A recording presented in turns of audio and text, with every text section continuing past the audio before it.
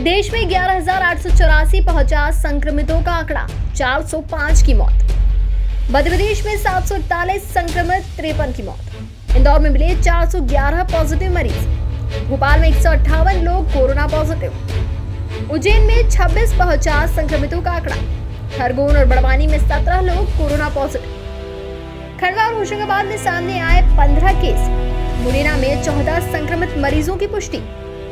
विदिशा में 13 लोग corona positive. Jabalpur में 12 कोरोना संक्रमित मरीज़, देवास में संक्रमितों का आंकड़ा पहुँचा सात। ग्वालियर में निकले छह कोरोना पॉजिटिव मरीज़। शाजापुर, रायसेन और छिंदवाड़ा में चार चार मरीज़ आए सामने। श्योपुर और धार में तीन तीन मरीजों की पुष्टि। शिवपुरी, सतना, रतलाम और मंदसौर में मिले दो दो कोरोना पॉजिटिव मरीज़।